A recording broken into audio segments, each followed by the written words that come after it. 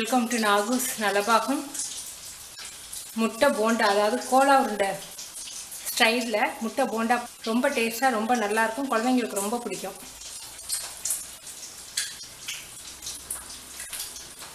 இப்போ எப்படி செய்யுதுன்னு பார்க்கலாம்.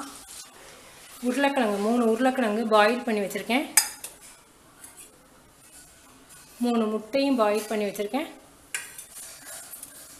வெங்காயம் பெரிய வெங்காயத்தில் பாதி வெங்காயமும் கறிவேப்பிலை நைஸாக நறுக்கி வச்சுருக்கேன்.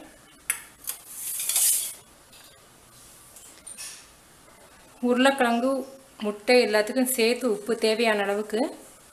அதே மாதிரி மஞ்சத்தூள் வந்து ஒரு சிட்டிகை மிளகாத்தூள் வந்து கால் ஸ்பூன் கால் டீஸ்பூன். நீங்கள் பச்சை மிளகாய் போடுறதுனாலும் போட்டுக்கலாம்.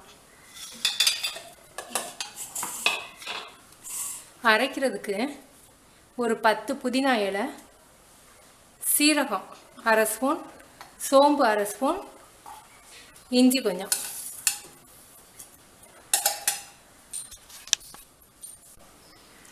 இப்போ இதில் வெங்காயம் கறிவேப்பிலை சோம்பு சீரகம் இஞ்சி எல்லாம் சேர்த்துருக்கோம். சேர்த்து எல்லாத்தையும் ஒன்று சேர்த்து பிசைஞ்சிருவோம். உப்பு மஞ்சத்தூள் மிளகாத்தூள்.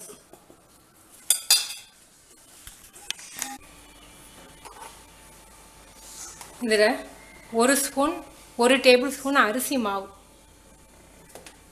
அந்த உருண்டை உடையாமல் இருக்கிறதுக்காக.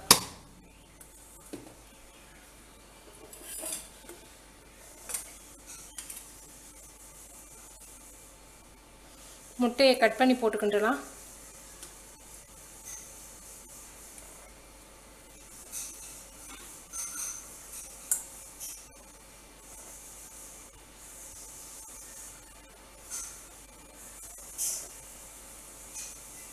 இப்போ எல்லாத்தையும் ஒன்று சேர்த்து நல்லா பிசைஞ்சு பேஸ்ட் மாதிரி மாவு மாதிரி ஆக்கின்றோம்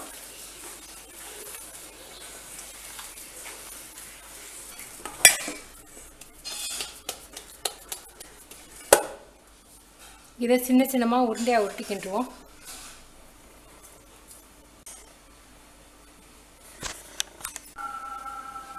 பால்ஸ் ரெடி ஆயிடுச்சு. இப்போ இதை எப்படி எண்ணெயில் பொரிக்கிறதுன்னு காமிக்கிறேன். ஒரு முட்டை எடுத்திருக்கேன். அதில் கொஞ்சமாக அந்த ஒரு முட்டைக்கு தேவையான அளவுக்கு மட்டும் உப்பு.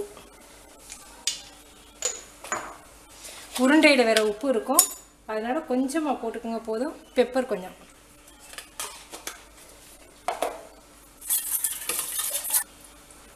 கருவேப்பிலை மல்லித்தலை எது வேணாலும் நீங்கள் போட்டுக்கலாம்.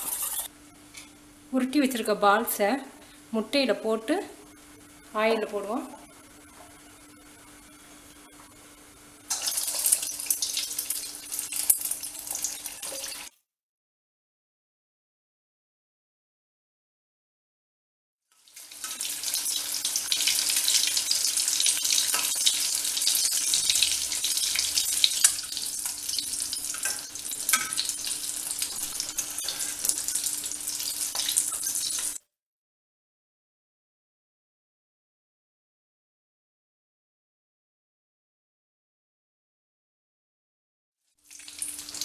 முட்டை கோலா உருண்டை ரெடி நீங்கள் செஞ்சு பார்த்துட்டு உங்கள் கமெண்ட்ஸ் எனக்கு சொல்லுங்கள் தேங்க்யூ